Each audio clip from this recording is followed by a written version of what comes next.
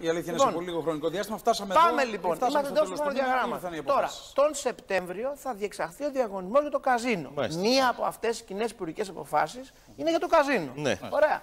Εφόσον ο διαγωνισμός για το καζίνο εξελιχθεί ομαλά, όπως τα βλέπουμε σήμερα τα πράγματα, δεν έχουμε κανένα λόγο να πιστεύουμε ότι δεν θα εξελιχθούν ομαλά. Ναι. Είδατε την Παρασκευή και τη συνέντευξη τύπου της εταιρείας Hard Rock που Ναι. ανακοίνωσε μια γιγαντιαία Υπάρχει επένδυση. για ένα δις. Επειδή πολλοί έχουν ενστάσεις και λένε για το καζίνο, δεν είναι, μιλάμε απλώς για ένα καζίνο εκεί. Στο κομμάτι που λέμε καζίνο είναι ξενοδοχείο, θα έχει τρομερό κομμάτι ψυχαγωγίας, entertainment. Ναι. Είναι άλλο πράγμα. Δεν το έχουμε δει στην Ελλάδα. Εφόσον ολοκληρωθεί Θα τέλος ξεκινήσει, πάντων. θα ξεκινήσει, συγγνώμη, Χριστό, θα ξεκινήσει Σεπτέμβριο, θα ολοκληρωθεί Σεπτέμβριο; Η- Ο διαγωνισμός στο Διαδικασία καζίνο είναι καζίνο. 30 Σεπτεμβρίου. Αυτό είναι το χρονοδιάγραμμα.